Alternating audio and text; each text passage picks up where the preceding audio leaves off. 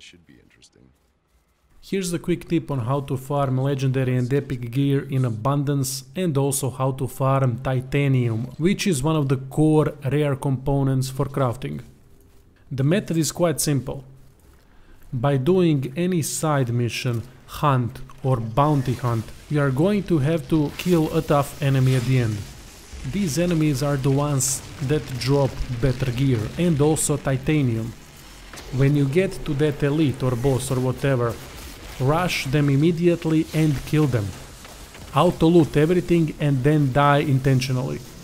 All of these elites and bosses come with group of ads or mobs, however you wanna call them, and they can kill you afterwards.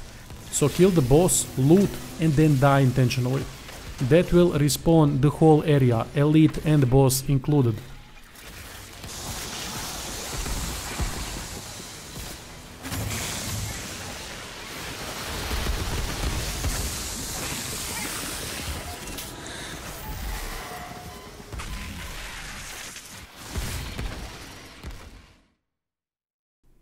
Rinse and repeat this as many times as you want and you will get tons of loot and titanium without any issues. Better drops and better chance for better drops comes with higher world tier, but I leave that to you. Play at your own difficulty and pace so that you don't burn yourself. Anyway, that would be all. Thank you for watching.